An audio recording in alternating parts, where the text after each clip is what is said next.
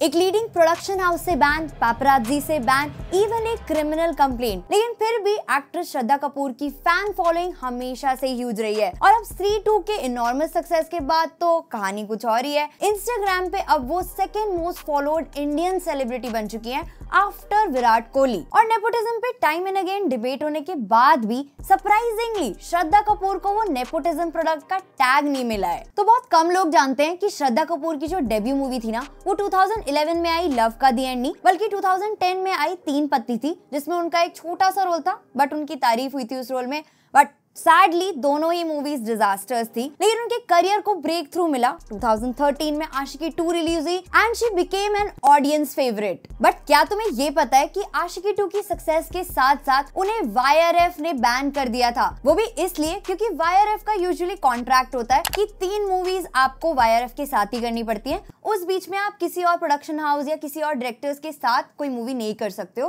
तो रिपोर्टेडली श्रद्धा कपूर ने औरंगज़ेब मूवी को छोड़कर आशिकी टू साइन कर ली थी, जिसकी वजह से यशराज बैनर ने उन्हें आगे की मूवीज़ में काम देना बंद कर दिया था। इवन जो रोल कटरीना ने थग्स ऑफ़ हिंदुस्तान में प्ले किया था, वो ओरिजिनली श्रद्धा कपूर को ऑफ़र हुआ था एंड एलिजिडली उन्होंने वो भी डिक्लाइन कर दिया था, जिससे उनका एलिजेड फॉल आउट हो गया था विद आदित्य चोपड़ा लेकिन इतने बड़े प्रोडक्शन हाउस से फॉल आउट होने के बाद भी श्रद्धा कपूर ने स्टोली एंड स्टेडीली अपने आप को स्टैब्लिश किया और इसीलिए आज के टाइम पे उन्हें बॉलीवुड की one of the most influential actresses भी माना जाता है। अब तुम ये सोच रहे होंगे कि श्रद्धा कपूर ने ऐसा क्या किया जो वो साइलेंटली बॉलीवुड को रूल कर रही है। तो देखो, इसका सबसे पहला रीजन है वर्सेटैलिटी इन रोल्स उन्होंने आज तक जितने भी रोल्स प्ले किए हैं, उनमें सब में डाइवर्सनेस रही है। चाहे वो हाफ़ गर्लफ्रेंड जैसी मूवी में रिया सोमानी का कैरेक्टर हो, या फिर हसीना पार्कर जैसी बायोपिक में खुद हसीना पार्कर का कैरेक्टर चाहे हॉरर कॉमेडी स्त्री में कैरेक्टर हो, या फिर एक्शन पैक मूवी साहो, उसे रहने देते हैं।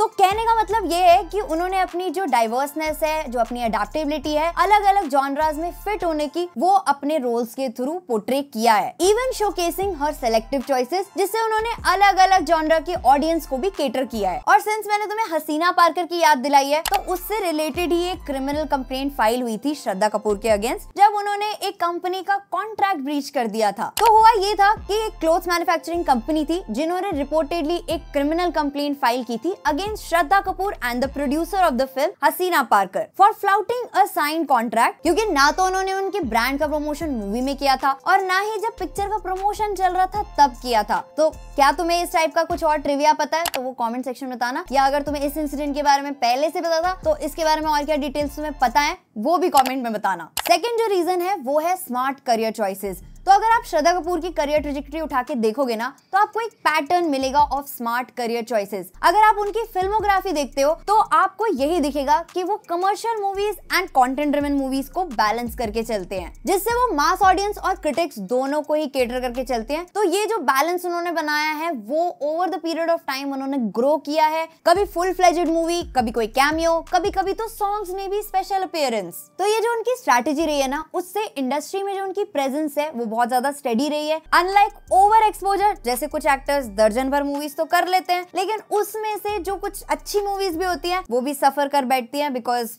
ओवर एक्सपोजर तो पिक्चरें कम करो, पर अच्छी करो, जिनको रिकग्निशन भी मिले। तो नेक्स्ट जो रीजन मुझे लगता है, वो है कंसिस्टेंट परफॉर्मेंसेस भले आज तक उनको कोई नेशनल अवार्ड विनिंग परफॉर्मेंस उन्होंने नहीं करी है, लेकिन फिर भी उन्होंने जितनी परफॉर्मेंसेस करी हैं, वो कंसिस्टेंट रही हैं। एंड हर पिक्चर हर रोल में जो उनका परफॉर्मेंस रहा है वो बहुत ज़्यादा सॉलिड रहा है, जिससे ऑडियंस भी जल्दी कनेक्ट कर पाती है। जो उनका स्क्रीन प्रेजेंस है, वो बहुत नेचुरल रहता है एंड इसलिए वो एक रिलेटेबल एक्टर बनी रहती है। चाहे स्त्री में उनका छोटा सा रोल रहा हो या फिर छिचोरे में उनका जो भी रोल रहा हो, उनकी मूवीज़ को क्रिटिकल अक्लेम के साथ साथ कमर्शियल सक्सेस भी मिल जाता है। कुछ एक दो को छोड़ के, लेकिन ओवरऑल जो उनका करियर ग्राफ है, वो काफ़ी स्टेबल रहा है। और इसीलिए जो नेक्स्ट रीजन है, वो है उनका सोशल मीडिया प्रेजेंस जिससे वो अपने फ़ैन से तो कनेक्टेड रहती हैं लेकिन रेलेवेंट भी रहती है। और जो उनकी down to earth personality and relatability है, उससे वो अपने साथ वो स्टार किड वाली इमेज लेके नहीं चलती। अपने फैंस को रिप्लाई करती हैं एंड इसलिए उनकी इतनी मैसिव फॉलोइंग है, जिससे उनको इन्फ्लुएंस भी मिलता है रीच भी मिलता है एंड इसीलिए वो ब्रांड्स एंड फ़िल्म मेकर्स के लिए भी लाइकेबल चॉइस बन जाती है। बट उनकी इतनी रैपिडली इंक्रीजिंग फ़ैन फॉलोइंग से एक चीज़ और निकल के आ रही है। अभी रिसेंटली रिलीज़ हुई स्त्री टू के बाद कुछ इंटरव्यूज़ हुए, जिसमें एक क्रेडिट वॉर चल रहा है बिटवीन श्रद्धा कपूर एंड राजकुमार राव, जिसमें ये कहा जा रहा है कि श्रद्धा कपूर का स्त्री टू में रोल छोटा था बट उनको जो पॉपुलैरिटी मिल रही है, वो बहुत ज़्यादा मिल रही है, जिसकी वजह से जो दूसरा एक्टर्स का काम था ना, वो ओवर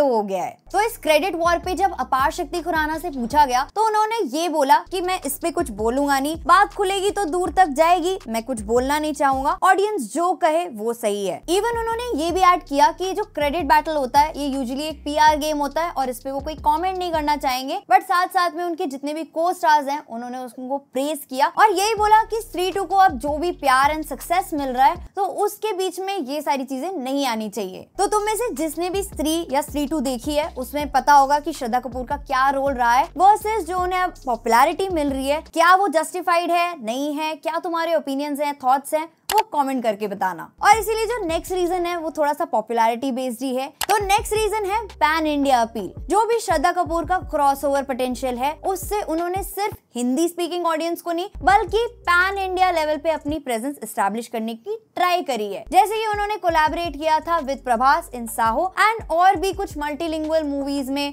उन्होंने इस टाइप के रोल्स प्ले किए हैं, जिससे वो अपनी एक पैन इंडिया इमेज भी स्टैब्लिश करना चाहती है।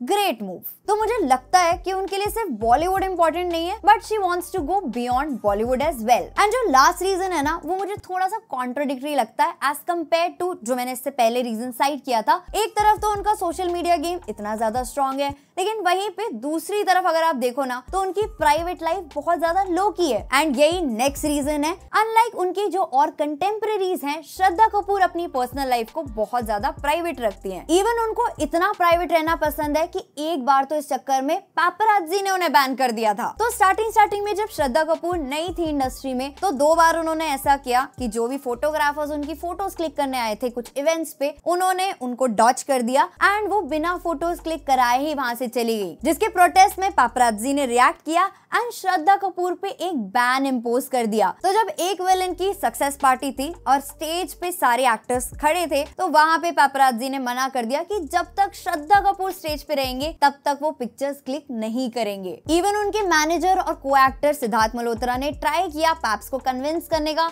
बट उन्होंने वो बैन रहने दिया एंड वहाँ पे उनकी पिक्चर्स क्लिक नहीं करे। थोड़े टाइम बाद पापराजी ने बैन लिफ्ट कर दिया था। तो अब तुम ये सोच रहे होंगे कि इस लो की अप्रोच या फिर प्राइवेट रहने की अप्रोच से श्रद्धा कपूर को क्या बेनिफिट मिलता होगा? देखो, सबसे पहली चीज़ तो ये कि उनके अराउंड एक मिस्ट्री हमेशा बनी रहती है एंड जो भी पब्लिक का टेंशन है ना, वो उनके काम पे ज़्यादा होता है rather than her personal life जिसकी वजह से जो उनका जेन्युइन टैलेंट है, उसे लोग अप्रिशिएट करते हैं। फिर चाहे वो डांसिंग हो, चाहे वो सिंगिंग हो, या चाहे वो accents हो Sometimes it would be French, sometimes it would certainly be British. And शायद यही रीजन है कि उन्हें क्रिटिसाइज नहीं किया जाता as a nepotism product in Bollywood rather जो भी उनकी फ़ैन फॉलोइंग है, वो बहुत ज़्यादा जेन्युइन है. And on and off camera वो हम्बल रहते हैं. वो अपने साथ कोई भी ऐसे स्टारी टैंट्रम्स नहीं कैरी करती. जो उनकी गर्ल नेक्स्ट डोर इमेज है, वो उसको मेंटेन रखती हैं. एंड आई थिंक यही रीजन है कि ऑडियंस उनको इतना प्यार करती है. तो ये कुछ रीजन थे जिससे मुझे लगता है कि श्रद्धा कपूर जो है, वो बॉलीवुड में धीरे धीरे बहुत ज़्यादा राइज कर रही है. एंड अगर तुम्हारे थॉट्स इस सबसे डिफरेंट है तो क्यों है, क्या है, वो भी कॉमेंट सेक्शन में ज़रूर बताना। अगर आपको इस टाइप का कॉन्टेंट पसंद आ रहा है चैनल पसंद आ रहा है तो वीडियो को लाइक कर सकते हो चैनल को सब्सक्राइब कर सकते हो। मिलते हैं नेक्स्ट वीडियो में, तब तक के लिए गुड बाय